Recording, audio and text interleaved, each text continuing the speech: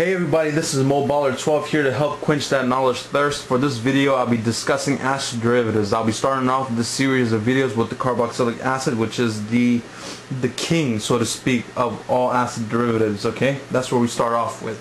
Um, before I get into it, I want to talk a little bit uh, about the update I gave you guys. Definitely check out my Facebook fan page. The link is in the description box below. Um, again, it's www uh, facebook.com forward slash moballer12 check that out. Show your love and support for your boy. Um, let's see anything else? Oh yeah in regards to the new series I'm really deciding to go ahead and and go with that new series that I plan I talked about in my update. I'm planning to commit to it. So give me some suggestions give me some ideas as far as far as the name goes of the series. Um, also start posting your questions. Feel free to ask questions and then I'll, I'll eventually compile three questions at random and make a response video. Um, anything else? Let's see. Um, oh, in regards to these videos, I'll be, once I finish acid derivatives, I'll be moving on to, um, let's see, what is it? Alpha alkylation, alpha halogenation.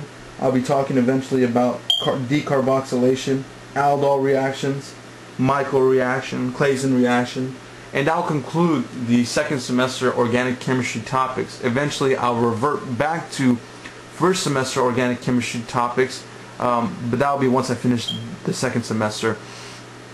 Um, anything else? Uh, I think that's pretty much it. Again, link in the description box to my fan page. Show your love, like that fan page, and uh, comment. Make some comments. Uh, feel free to make any types of comments you want. How much you love me, so on and so forth. Just messing. Okay. So um, let's get into it. Okay, so for this video, again, we're talking about carboxylic acids, acid derivatives. Okay, six reactions you need to know. These are the more popular ones you're expected to see in your chemistry classes, your OChem classes. Um, there's there's definitely more, but these are the main ones that you'll see. So let's get right, right into it. Okay. Uh, again, just a heads up, I put R groups here for every single carboxylic acid to represent a more generic carbon group. You should be comfortable with that uh, notation because I've done it on, in a lot of videos.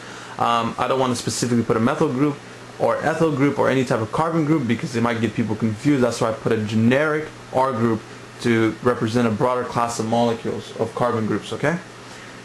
So, let me catch my breath, okay. Uh, let's get right into it. So the first reaction here we have is a carboxylic acid uh, with something that looks like SOCl2, okay? SOCl2 is known as thionyl chloride, okay? SOCl2. For this reaction, let's make it nice and easy. All you have to do when you see this, uh, uh when you see a carboxylic acid with this reagent, which is known as thionyl chloride, replace the OH with a chlorine. Nice and simple. R, there's your carboxylic acid, chlorine. There you have it. Let me zoom in on the top portion of the video. Hold on one second of the board. Let me zoom in so we get. Sorry about that, guys. Okay, there you go. So there you have it. So carboxylic acid with thionyl chloride, you get this acid halide, acid chloride. Okay, I'll write down the side acid. Okay, let's put this up higher a little bit so my writing doesn't block other things. Acid chloride. Okay? Again, all you have to do is replace the OH with the chlorine. You get your product, okay? I could go through the reaction mechanism, but it's going to take a lot of time, and I, I rather not go through all the reaction mechanism. But they all have a very similar trend. Um, the next reaction, okay, again, before I go to the next reaction, all of these reactions are basically interconverting between one acid and its derivative and just constantly interconverting between acid derivatives okay? So you'll eventually see um, that we're going to go from acid chlorides to other things to carboxylic acids and it's constantly interconverting between one and another okay? So it's kind of simple in that regard but it's definitely a lot of things you need to internalize and memorize okay? The next reaction is two carboxylic acids uh, under the presence of high heat you know this little triangle represents heat. Also represents change, known as delta change. Um, but it also represents heat. So under high heat conditions, um, two carboxylic acids will form an anhydride. Okay, an anhydride, before I draw the structure, is basically a oxygen group wedged between two carbonyl groups. So for example, an anhydride will take the form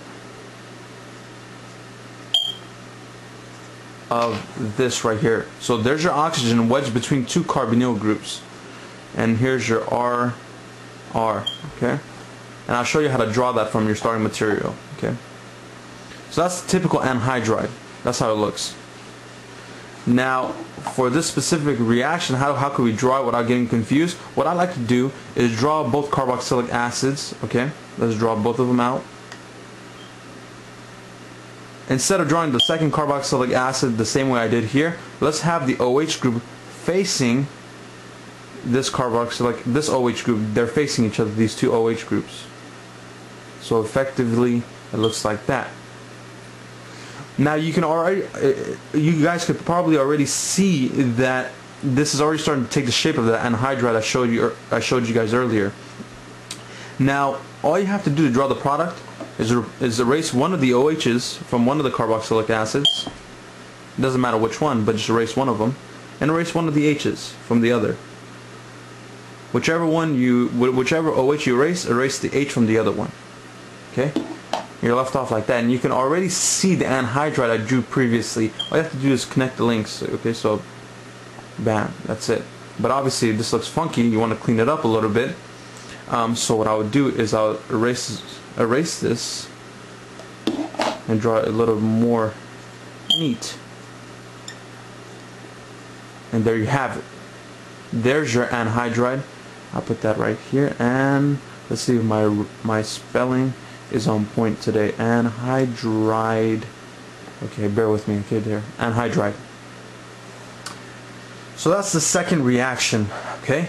So again, um, you could use my method of drawing the two carboxylic acids with the OH groups pointing each other and erase one of the OHs, erase the other H from the other carboxylic acid, connect the links.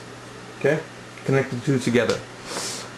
Um, the third reaction is a carboxylic acid under basic conditions. So you have sodium hydroxide and you have this thing known as uh, this thing RX. Okay? Um, this is an alkyl halide and I'll go into showing what an alkyl halide looks like. Um, but I want to make I want to turn your guys attention to this little mark I have here okay? The little mark is just to show that this R group which is going to be a carbon group does not have to be the same as this R group. Some people get confused because if I were to draw this R like this people would think like oh does this R group have to be the same as this R group for the reaction to work no not necessarily it could be something completely different but it has to fit this specific requirement but nonetheless this carbon group doesn't have to be the same as this carbon group here.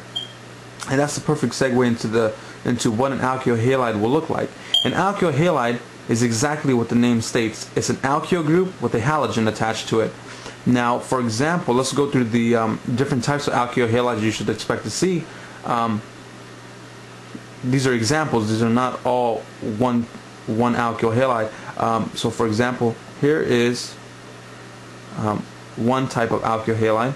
Here's another type of alkyl halide. And here's another type of alkyl halide. Let me just show you all three so you guys know. Okay. Here's a primary, here's a secondary, here's a tertiary. Okay, how do I know it's a primary, secondary, tertiary? Primary because the carbon that's directly attached to the halogen has only one carbon group attached to it. Okay, so the carbon, let's put a, little star there as the import, you know, to locate the important carbon. That carbon directly attached to the halogen has only one carbon group attached to it, making it a primary. The carbon group directly attached to the bromine here has two carbon groups attached to it, so therefore makes it secondary.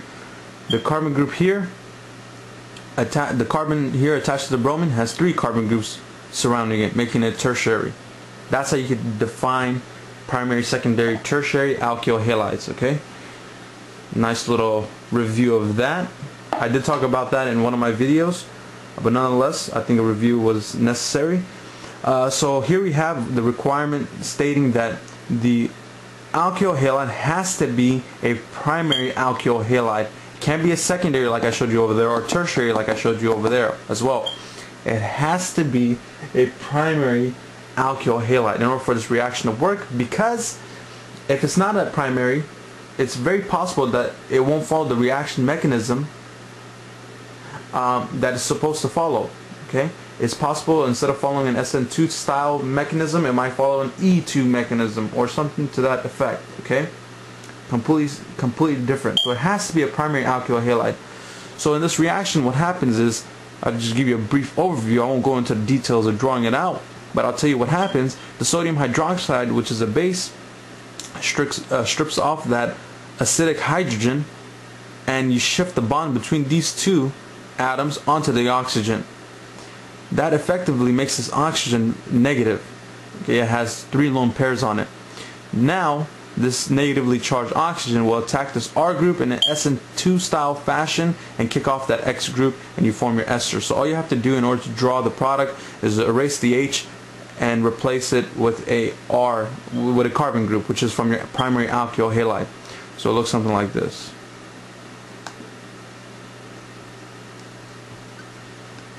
Okay, so this R group, this carbon group does not have to be the same as this. It could be different. Hence the little prime, the little mark I put there.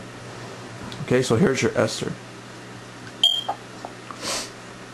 Um, yeah, so that's the third reaction. I think it's pretty straightforward. Again, erase the H, replace it with the uh, carbon group of the alkyl halide, making sure that it's a primary alkyl halide.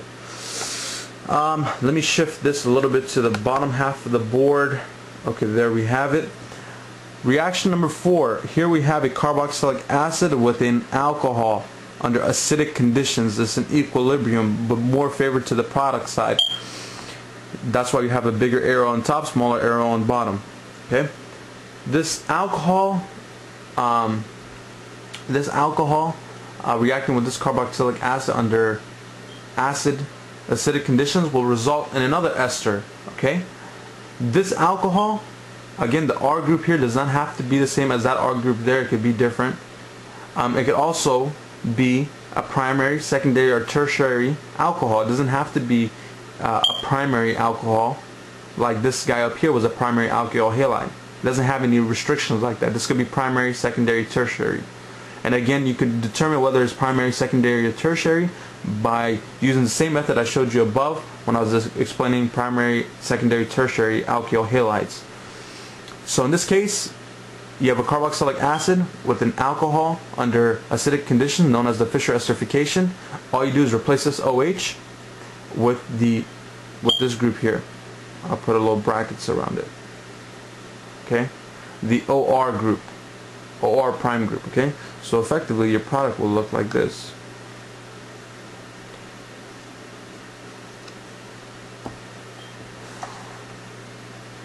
And you form another ester. So there's two ways to form an ester. Make sure you're comfortable with both ways. Okay, and that's the uh, fourth reaction. Again, all you do is replace the OH group from the carboxylic acid starting material with the OR group you have up there. The fifth reaction, here we have a carboxylic acid with an amine. Okay, amine are typically nitrogen uh, containing compounds, uh, molecules, and DCC. Uh, the, the, name DCC, what it stands for is it's crazy. It's like N N di something something something. I mean, it's hard for me to say it. Um, but nonetheless, you need this specific reagent in order in order for the, for you to do this reaction. All you have to do is replace the OH with this group here. Okay, replace the OH with that group there. Let's draw that. And I'll talk about the R prime and R double prime, what those are supposed to mean.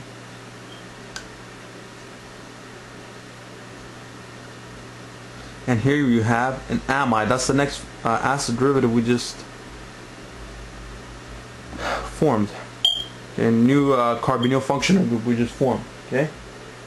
Um, so R prime and R double prime, what does that mean? R prime, again, is just to show a difference between the R, um, this R and R. They don't have to be the same. Same thing applies for this, uh, for this R double prime. But it also means that these R primes can both be a carbon group, okay? They can both be a carbon group or a hydrogen, okay? So let me make a note of that. That, let me make a note right here that R prime and R double prime can be can be an H or okay can be an H or an alkyl group that's extremely important to realize okay or they could be also an aryl group but I don't have that much space to write that. Um, but they could be an H or an alkyl group. So effectively you could have two hydrogens there or you could have two carbon groups there or you could have one H and another in a carbon group there okay? So it doesn't have to be carbon groups in this specific case. In the other cases for the reactions above they have to be carbon groups. But this case for this reaction specifically R prime and R double prime can be an H or alkyl group okay? And all you have to do to draw the product for this reaction is replace the OH with this thing I have in brackets. And that's what we have there the amide. The final reaction nice and simple should be nice and easy is a carboxylic acid with borane. Okay? BH3 stands for borane one equivalent of it. All you do to draw the product is erase the double bonded O. It's a reduction effectively. You're reducing it. Anytime you're getting rid of um, a carbonyl is a form of reduction. You're reducing it. And that's it. That's the product that you form. Again all you have to do is erase the double bonded O. You go from a carboxylic acid to a alcohol. And that's it. Now stay tuned for the second part. I know it's a little bit long-winded but I really wanted you guys to understand this. Um, but stay tuned for the second part where I go through a bunch of examples um, using these reactions that I've showed you guys okay? And hopefully I make I plan on making that video no longer than seven minutes we'll, we'll see okay? So stay tuned for the second part